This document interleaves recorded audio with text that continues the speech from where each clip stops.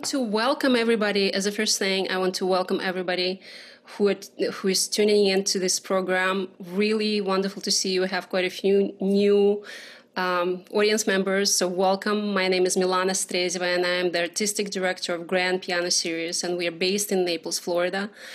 And uh, we have three exciting concerts coming up next week with Asya Korepanova, uh, who is going to play all 24 Liszt etudes and she's mm. doing uh, three performances in a row. And I said, We will be cheering for you. It's like almost like a sports event, seriously.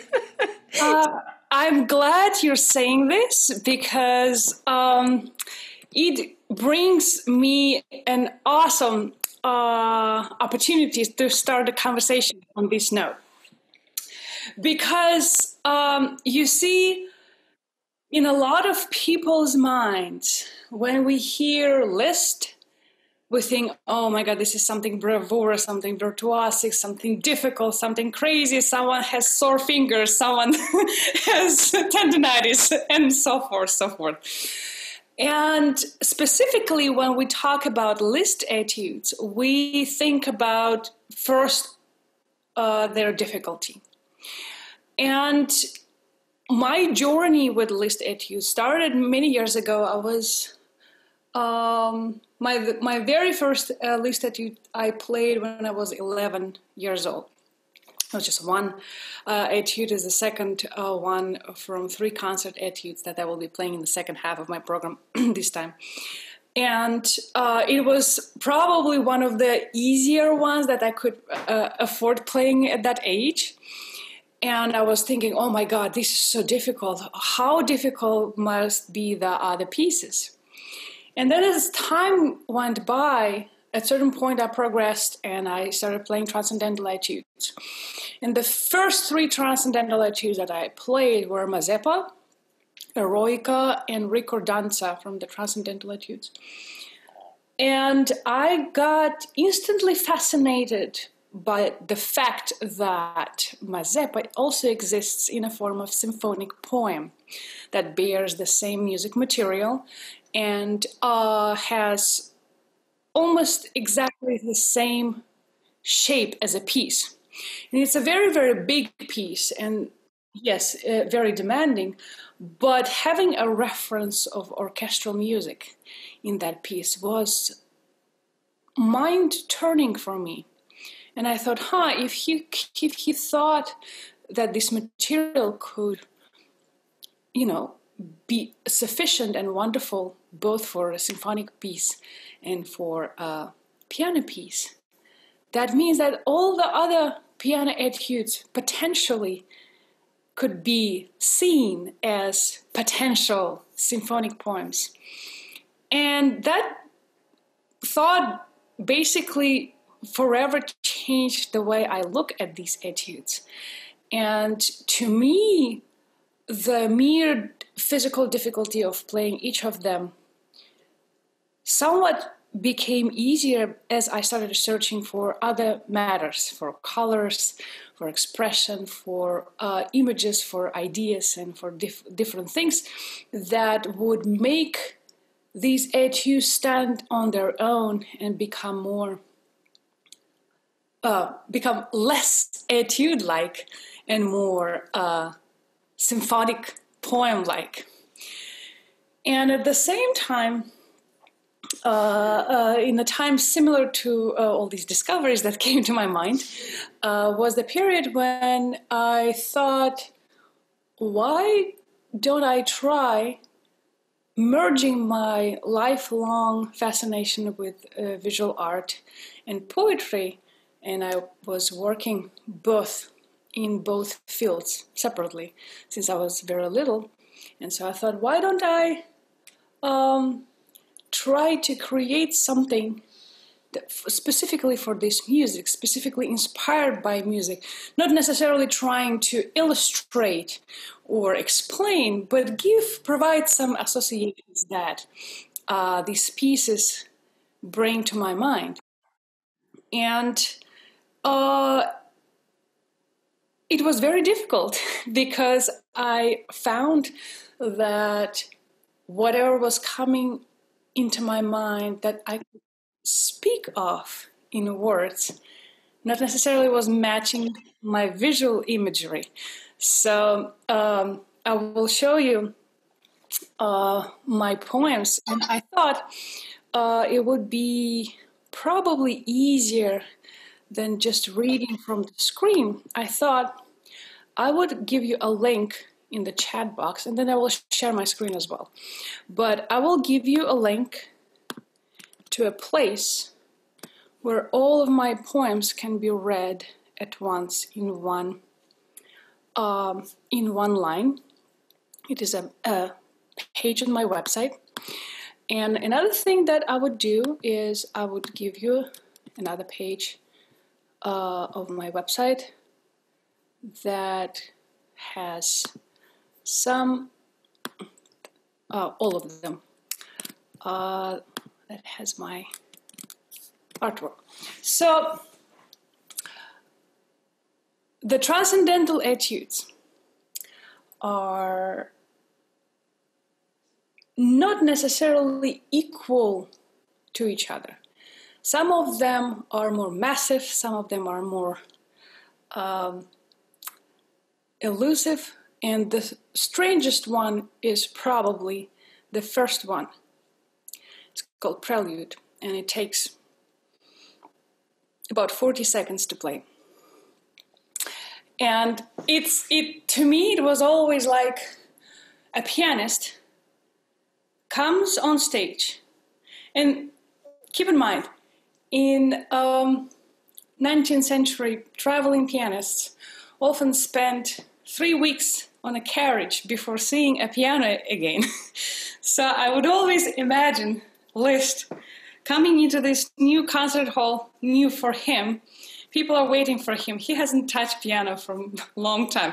I, I, I know that probably the real situation was not necessarily like that, but it's just, it's just like some kind of image. Comes does this and then goes, let me try what the piano is, is capable of, and goes.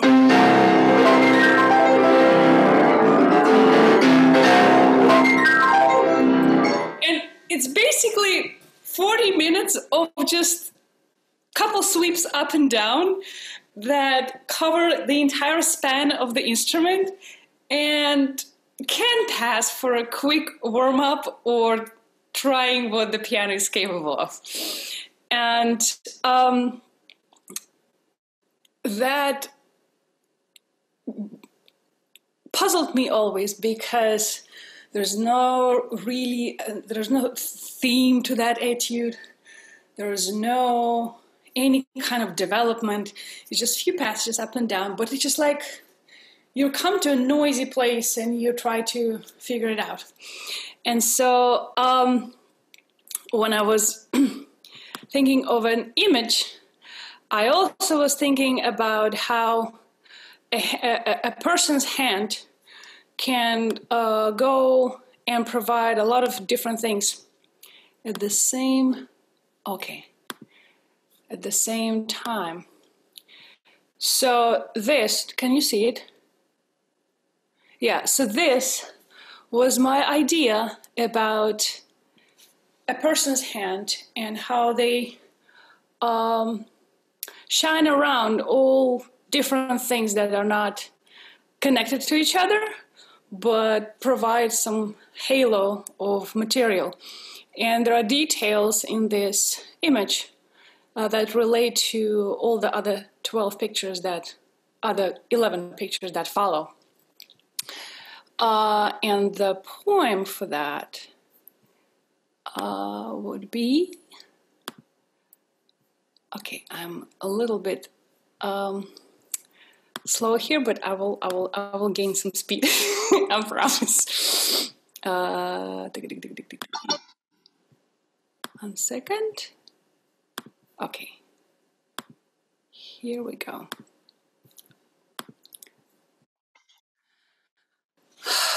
I walk along a festive street amidst the city noise and flare, and for the crowds that I meet, I celebrate, I do not care.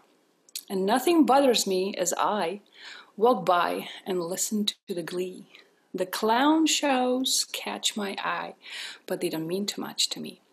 And through the babble dapplet fun and urban smells and loud hooray, I feel the breathing of the sun that shed itself onto my way.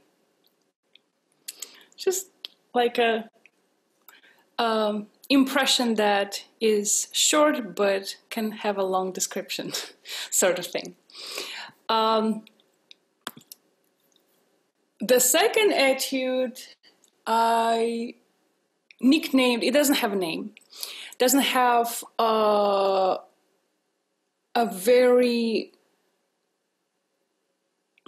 how would I say, it doesn't have lyricism in it almost at all, but it has this tune that made me think of it this is like uh, a Destiny's Call from Beethoven's Fifth Symphony, because it goes.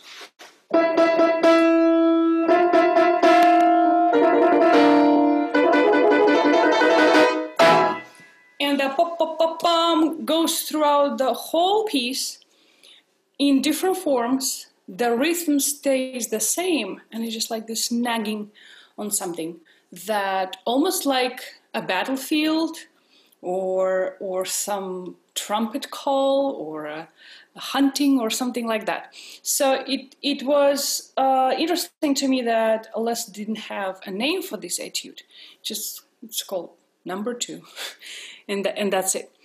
And, but that trumpet-like call uh, allowed me to think of that as some somewhat related to to a battle. And because of that, I had this image of something with trumpets and with a horse and with some spikes and with some something that um, like a fantasy that features different images related to uh, warriorship and, and things like that. Uh, and the, the, the poem for that goes like this The threshold of the war, transparent imprecation over the sails, and horses' helpless call and its reverberation. And you can hear banners murmur and itty bitty bridges rattle, and take in the gunpowder odor, and cannon philharmonic brattle. Relying on his will in secret, immortal nature's love is real. It outruns the slow time. It plays with stars and spins the magic wheel.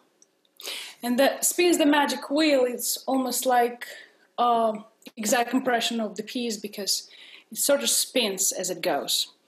And uh, playing it, you definitely feel like you're going through a few circles, uh, returning and, and, and still spinning faster and faster, and, and the piece becomes faster uh, at the very at the very end. It it, it speeds up. So this is um, sort of the the approach that uh, I have been having. Uh, let me know if you would like to uh, me to read all of these poems myself, or I also could uh, just provide them to you to read as um, as I gave you the link for them. But this project originally was performed in a space that allowed um, to project the artwork on the big screen at the time of the performance. And so I could play while the correspondent uh, image would be projected, and I would read the poem before the uh, corresponding uh, etude in between. And so it became sort of a multimedia performance. Uh, and I also later realized that this type of pairing different artwork and different poetry or literature with music became very popular recently. in recent couple of decades. But people try to find something that they have associations. I don't know, playing Debussy with Manet or something like that. And I thought that uh, having similar idea, but having that coming from the same source could be something of a change.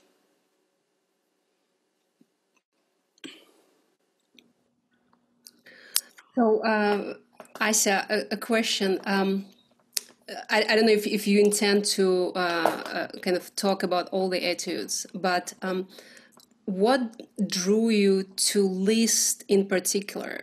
Why did you? Uh, because I, I, I, did notice you you enjoy uh, uh, larger scopes of works. So, yeah. and I, I I'm curious what it is that inspires you about Liszt's music as a performer it has been a transition.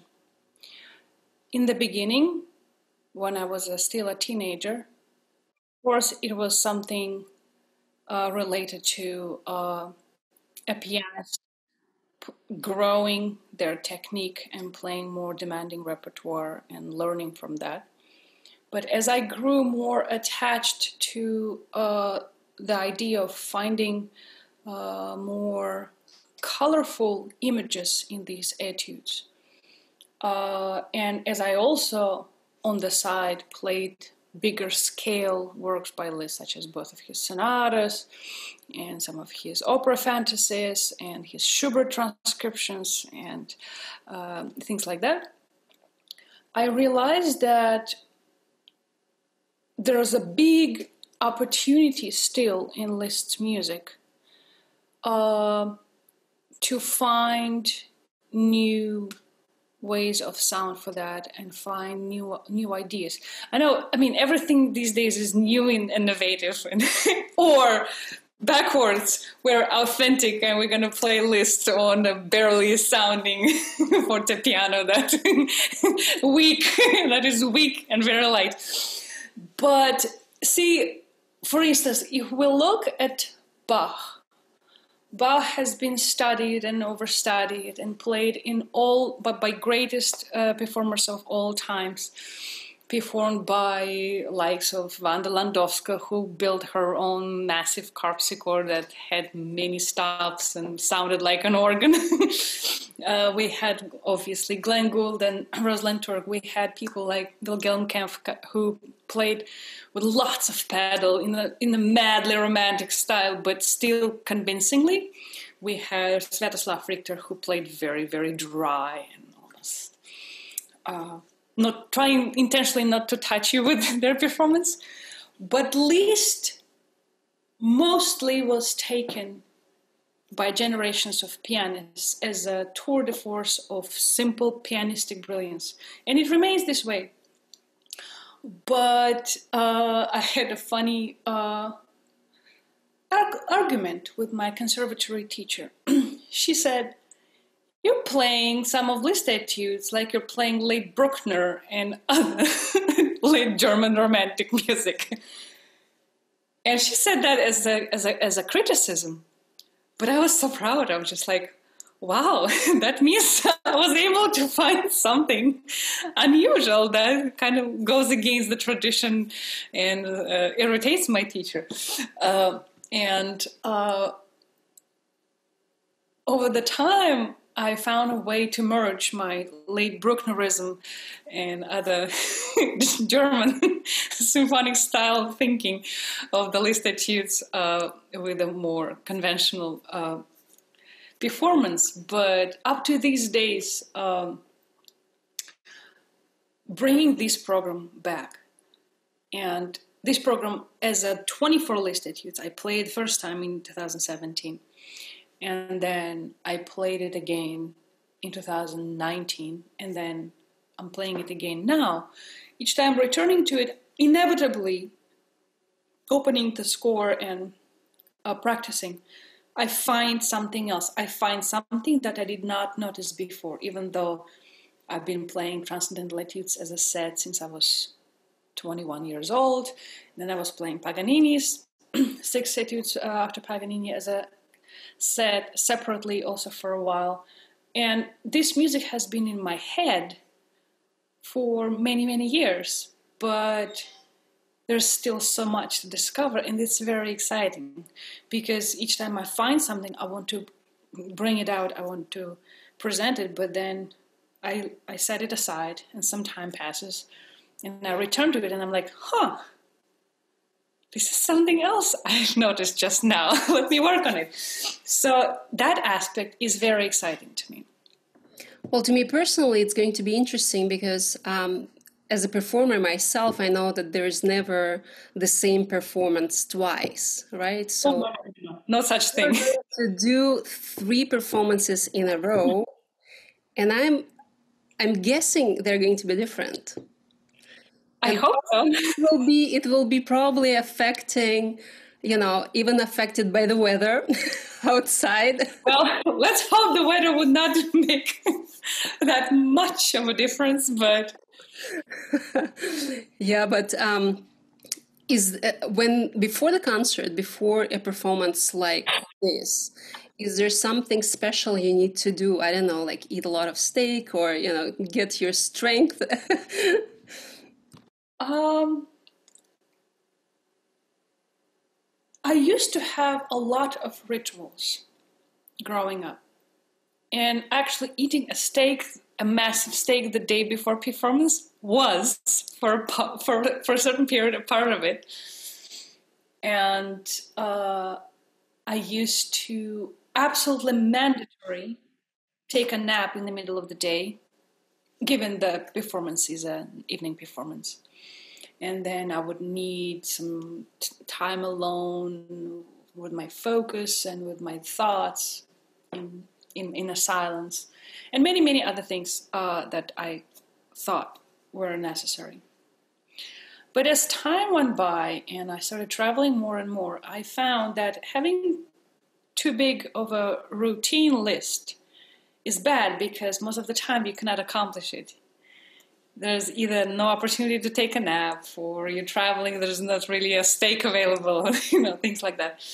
Uh, I think that the general rule is not to practice too much the day before, so your your muscles and you know it's athletic thing when you're playing a lot of uh, when you're playing a, a, program that that is rather long and has a lot of you know pianistic uh, difficulties, to not practice too much the day before and have a good night's sleep. Sleeping is is is is important. I always I always I love to um, warm up in the during in in, in a few hours before the performance and then not do anything and try not to get too much into my head.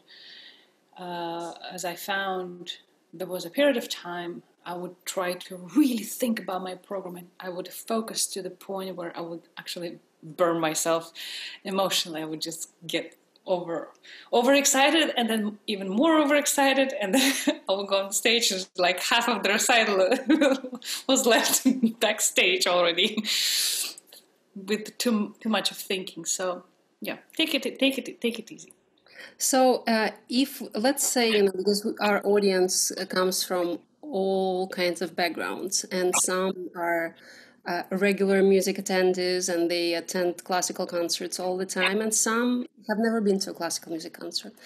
So, if you have uh, an audience member who has never heard uh, uh music of Liszt or uh, doesn't know much about the composer, uh, how would you describe who Liszt is and, and how he has influenced the music world and the piano world specifically?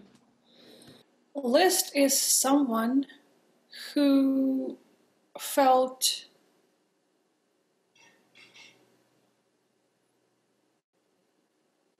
and I will repeat myself in that, but Liszt was someone who was one of the first people that seriously thought that piano can emulate the orchestra. He is somebody who is credited by, with expansion of what is possible on the on the piano and so is beethoven.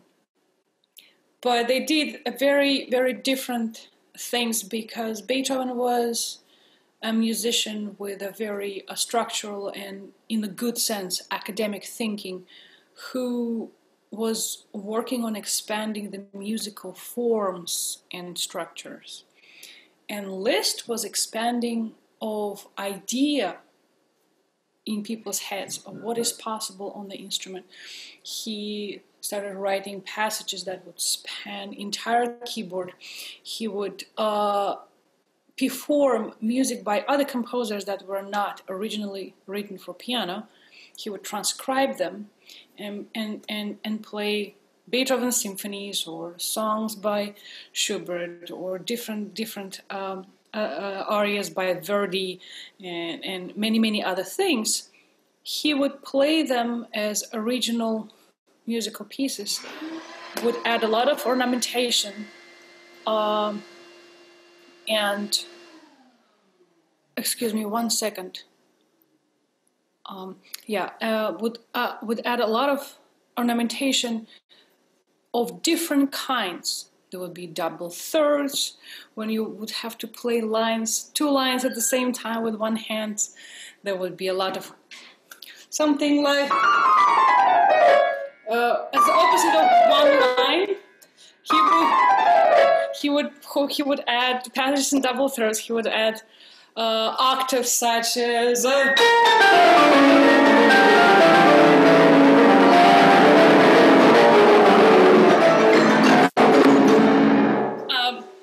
people like Beethoven, they did not really do anything. I don't know how you guys, how, how does this tr- transfers to you? It must be very noisy. But uh, he just put a lot of additional forces into a pianist's hands and forever changed the idea of what a pianist can be because uh, he was touring performer one of the first major virtuosos to tour to perform not only his own music but also music by others. And now this is something we think of as a normal thing but back in the 19th century earlier and before performers were composers and they were, they were mainly performing their own stuff so Liszt was opening eyes of a lot of people in his travels, performing music from operas that those people could not hear otherwise. He would be uh, introducing audiences to new composers. He was very supportive. He was um, rediscovering uh, music by other composers, and of course, making himself an, a name uh, that we still think of as uh, one, one of the greatest pianists of all time. I see. Um, thank you. Um, so this was a lot of information. I can still continue. it's it, it's okay. Um, tell us a little bit about your childhood and uh, uh where you grew up and how did you find music? I mean, did you grow up in a musical family? Is that something that uh, was part of your life early on since the childhood? Yes, uh, both of my parents are musicians. My mother is a pianist, and one of my, well, she's one of my first teachers, but she's the very first. Uh, she never really stopped completely being my teacher, but uh, she she started teaching me when I was about four, and uh, that happened rather uh, in, in, in circumstances that uh, are rather unusual. Well, with m- both of my parents um, being musicians in uh, still Soviet Russia in the beginning of 80s, they did not want me to become a musician they wanted me to have a, a normal life and you know to to you know to have an opportunity to enjoy my you know being whatever but my mom was an active musician she was uh, performing as a as a, a, recitalist and as a chamber musician, and she was finishing her uh, postdoctorate uh, in Gnesin Academy in in Moscow, and so she spent a lot of time practicing at home. And uh, evidently, I grew competitive, and I started kicking her out when I was about two and a half to three years old. She would, I would come and, and push her off and sit and pretend I'm practicing. And when she would try to remove me, I would just make complete scandal, and it was it was very bad. Uh, and my study wasn't conventional at all. My my family traveled between three cities. Um, my parents, when I was born, they were finishing their studies in Moscow, but there were also two sets of grandparents uh, in Izhevsk, where I was actually born, and in Kazan, where my parents uh, originally met in conservatory there. So we were traveling, and my mom made a decision that was very, very unpopular back then, and especially in Russia. She homeschooled me until I was about 10. And that uh, was a very, very strange and unconventional thing to do back then. But it allowed me to kind of um, always be around grown ups and consume whatever food for thought uh, that they had. So, you know, I, I started reading very early. I started, uh, my mom gave me catalogs of artwork to glance instead of you know regular kids uh, picture books. So when i was like you know three on or four all the heroes from Rubens's artwork the perseus and Andromeda and all these uh, characters were my childhood heroes. It was very um, very interesting and also prompted me to to draw very very early. And uh, i was seven. I was reading things like divine comedy and something like something similar like that which is can be thought of as something too difficult for uh, for a kid to to read but i was so excited i read it twice and made my own illustrations for that. But in my homeschooling, I also uh, was able to just go through a lot of material in different forms of art.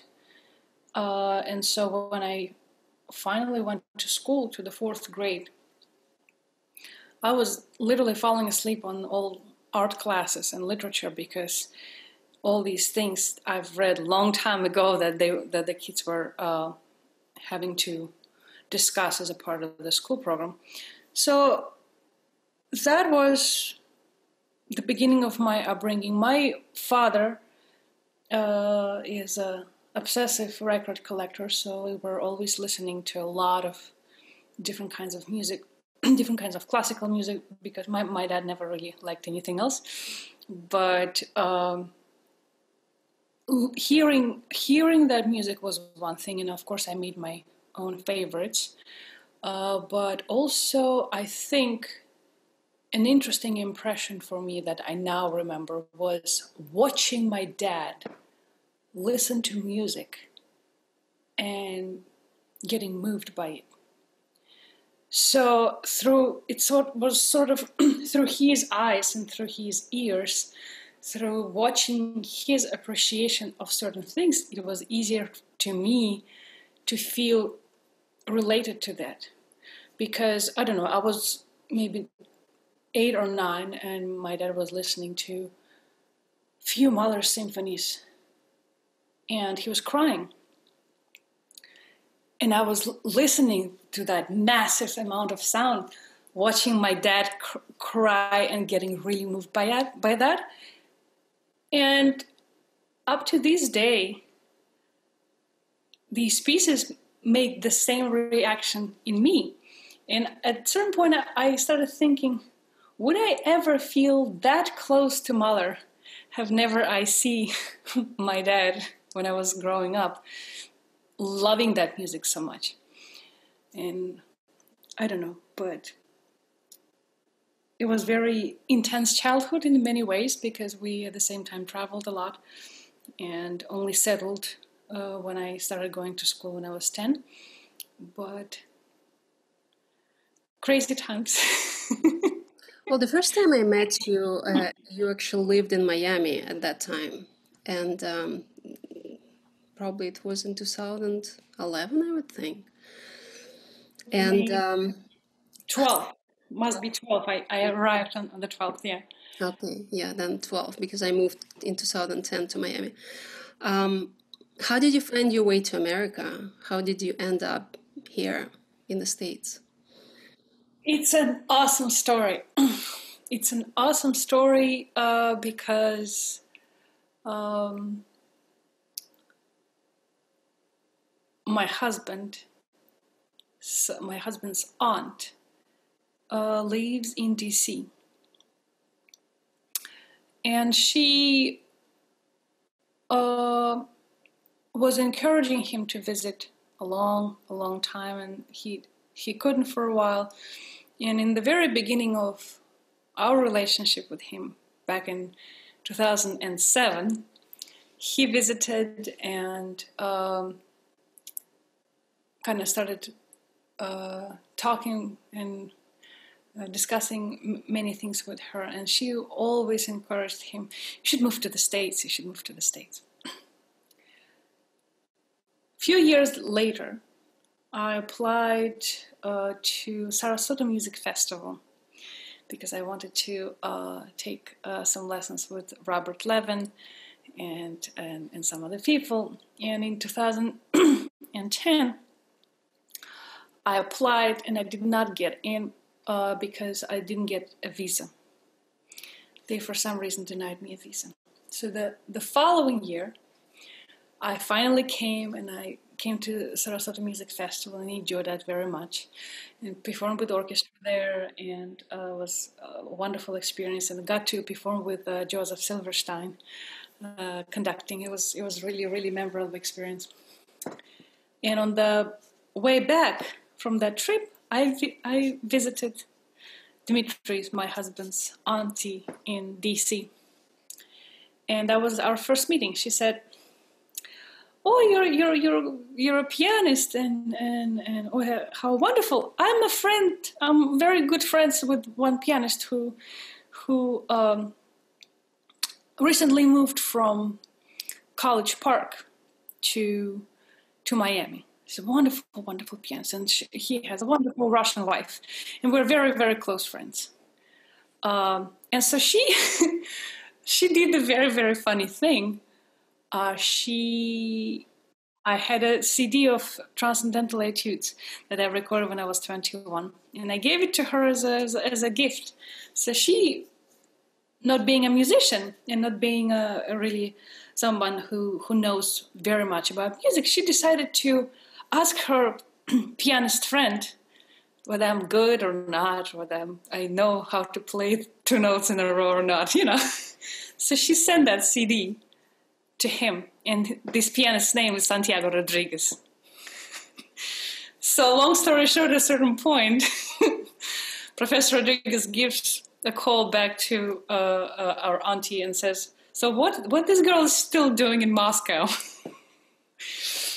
and um, he offered me to apply for a doctoral degree in the University of Miami, and uh, it was a crazy uh, offer because he's like, well, if you apply and everything go- goes well, you potentially can start start uh, next year, and we're talking about like summer of 2011 and me starting in the spring of 2012 and so I had to run around, collect materials, pass all the TOEFL tests and everything. And but I was that was that was a period of time when everything felt like like I'm sleeping because uh, it was so fast, so unexpected, and at the same time, uh, Professor Rodriguez is a legendary performer of Russian music he's a Cuban American pianist, but he plays Russian music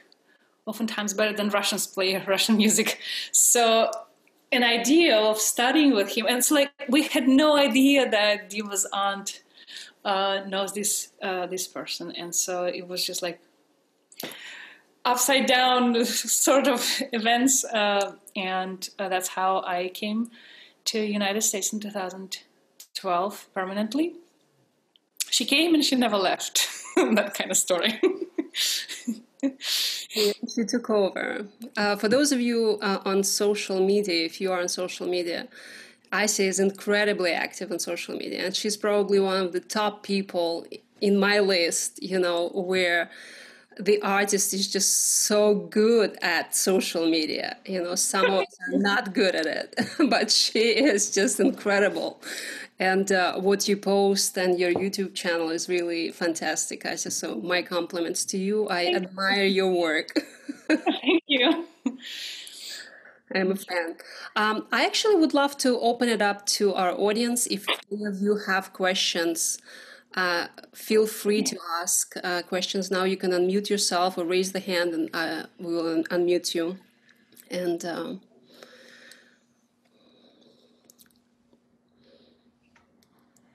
okay, Bob, go ahead, unmute yourself. Ah, we, we cannot still cannot hear you. You're still okay. Yeah. There we go. Okay. Um, thank you very much for coming to talk to us. Thank um, you. Thank you. It's a real honor, and I have to tell you that I had an honor to meet you once before. Back in 2017, um, oh. you played, I think it was Beethoven's Choral Fantasy at Carnegie Hall, and I had the wonderful pleasure of being in the chorus and sitting right by you while you played. And not only was I struck by the wonderful pianist that you are, but the fact that afterwards you would take time to talk to me and talk to the others, and you were just a, a very kind person. Thank so I thank you for your music and for being such a wonderful person. Thank you so much. It was it was definitely uh, a very memorable experience. You know, I think uh, I, I just want to elaborate a little more. Pianists, unless we are uh, a part of the orchestra, in the orchestra, or we are accompanying, we don't have many works where we can enjoy playing something substantial being backed by a choir. So it is absolutely ethereal uh, feeling to play uh, choral fantasy and to have people around sing at the same time is just it's absolutely divine. Well it's divine for us too. Thank you. Thank you bob. Um, anybody else has a comment or question uh, about the upcoming program or about Asiya's uh, journey in music? Greg um, what, is there anything in particular that you feel that uh, you play best or you're most proud of? That's a good question. I would say that I feel a very strong connection to the contrapoint and to sonata form in general. So, to me, I think I can be quite successful playing things like Bach's works of different kinds of all tempered clavier or Goldberg variations or suites and things like that. And I definitely feel very connected to uh, sonata forms. Would that be sonatas by Beethoven or by Chopin or by Rachmaninoff or by composers of 20th century? Uh, and I would say that Liszt with time has become instead of uh, a moment of overcoming fear and overcoming you know demands of, of difficulty uh, became an oasis of creativity and something that um, is very exciting and uh, I think I'm quite successful in dealing with that as well. Thank you. And I like your studio. Fake background. but it looks very good. Anybody else? Therese, uh, make sure you unmute yourself. Um, oh, this is uh, two questions. It sounds like because of his aunt, uh, you you know got to America and you continued your. You're breaking up. Um, if you could kindly, maybe you could type your question in the chat box. I don't think. Therese, you're breaking up, unfortunately. Can you type in your question, maybe? We cannot hear you at all. Slow connection. Uh, yes, yes. Um, uh, Yeah, in the chat box, and I'll read it out. Uh, in the meanwhile, um, while Therese is is, is uh, typing, I'll I'll give you uh, a little anecdote. Uh, my very very first performance in the United States at Sarasota Music Festival, I played Rachmaninoff Paganini Rhapsody, and there were people lined up to to say congratulations at the end, and at the very end of the line was this man who was um, had had very small frame, had a walker, and clearly he had lived quite a life. So he came to me and with a very very quiet voice said, "Congratulations, my dear. I'm 98 years old." And I enjoyed the performance very much, but I have to say that I was in the audience when Mr. Rachmaninoff premiered this piece. Should I say that I flipped over? Hopefully, he, it, it was a compliment anyway. yeah, but it's just, it was just something absolutely insane. Okay, so how, how have you handled COVID isolation? I was blessed with uh, uh, how it went, and uh, both me and my husband were lucky to still not um, get uh, sick with it or anything. But to me, it was also an amazing and rare opportunity to be at home all the time. For quite many years, I wasn't home for more than three weeks at once. There was always traveling somewhere, performing, uh, or giving master classes, or doing different projects. And also, when you are on a circuit of performing, if it happens that you're spending more than two, three weeks at home, that means you don't have work. So that bears this strange psychological uh, explanation that if you're at home, that means you're not engaged to do something somewhere. So I know many performing musicians who, who, who do not really enjoy when they have long standby periods, exactly for that reason. And because of that, you don't really get to enjoy fully being in your own house and uh, enjoying kind of more relaxed and still life. It, it may sound, sound strange, but it's, it's true. So this year allowed me to spend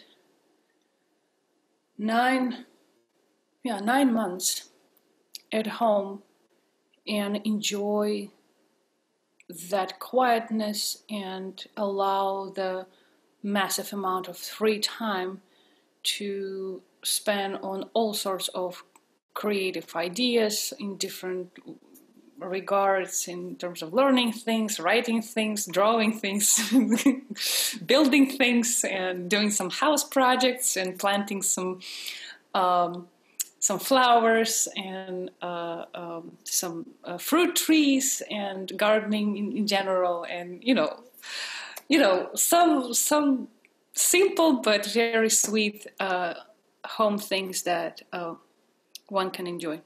So in that way, it was strangely therapeutic to me, and there were things that I truly, truly enjoy in that.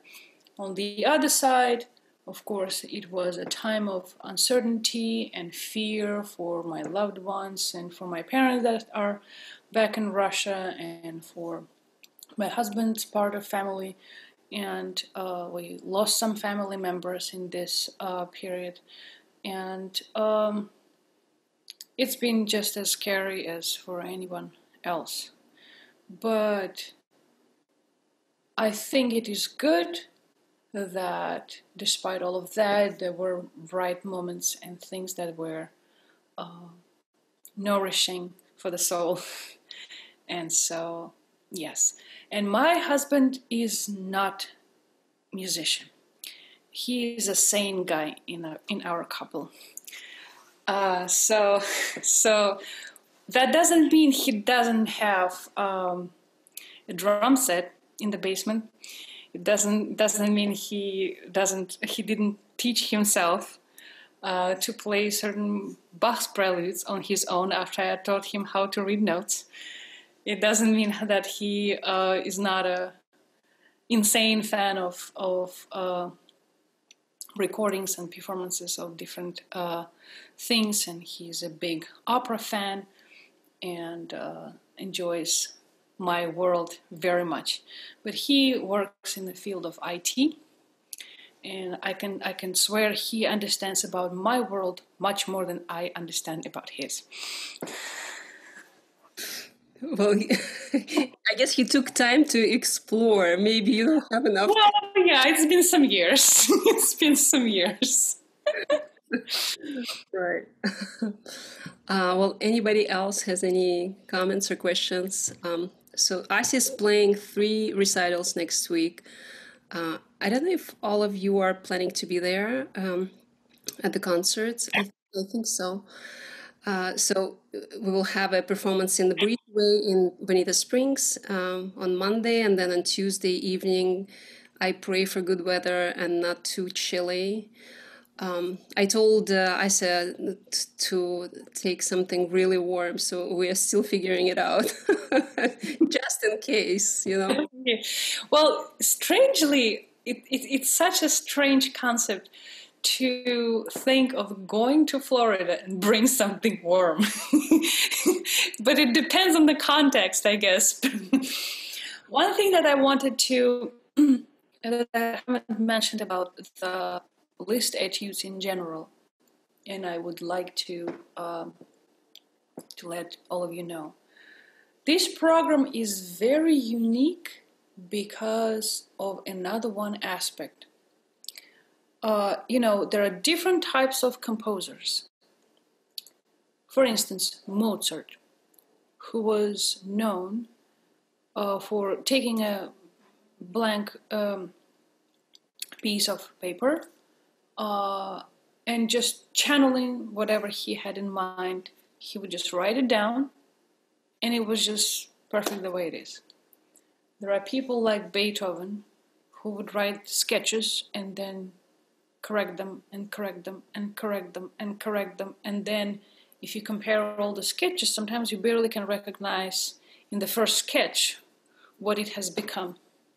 Uh, so it's it's it's it's channeling versus perfectionism. And they're all in the between that may happen. But there are also people who correct things, but in a different way. So, 12 Transcendental Etudes, Liszt originally thought of as um, exercises for pianists. And he wrote these little etudes when he was 15. And majority of these pieces bear the same them- thematic, same motifs that they have become years later. So he was 15, he wrote these 12 little exercises and moved on with his life. 17 years later, he took these 12 exercises, looked at them, and thought, hmm, I'm going to expand them and make them more brilliant and more virtuosic. So he took the same motifs, expanded them, arranged them differently. They became bigger. And he edited them and uh, published them as a 12 uh, etudes in, in chromatic keys. And then 10 years after that, he looked at those etudes, again reworked them, expanded them further, mastered them in terms of form, uh, cut certain things out, brought certain things in, and they have become what we know today as transcendental etudes. Same happened to the Paganini etudes. There were some sketches when he was young, and then he wrote barely playable uh, etudes that very few people play just because it's it it it, it asks for enormous hands and it is just very inefficient. And then again, some seven eight years later, rework them again, and now everyone plays them in their final version, as we know them as 60 etudes after Paganini. And same things happen to the, every single piece on this program that exists in the earlier more simple, more kind of cute baby-like version. So this program is a sort of a manifestation of Liszt as a composer, as he literally brought half of his life into these pieces because some of them he worked on for more than 25 years combined. And I find that extremely fascinating. Fantastic. Thank you, Asiya. We can't wait to hear them live. Uh, I'm sure I can absolutely with certainty say there's nobody else who's playing them right now in one concert, all 24 of them. So this is an incredibly rare event. And I don't think even in Liszt competition they're doing that. I think they just have.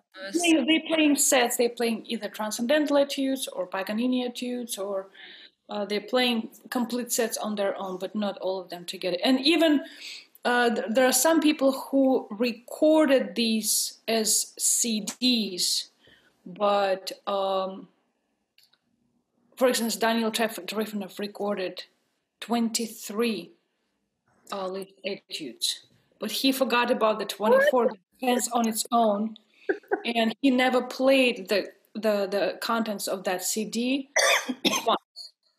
he only played either either concert etudes or Paganini etudes or transcendental etudes, but never everything together. So we're looking forward to it. It's going to be a great event. Uh, we will cheer for you as a sports person.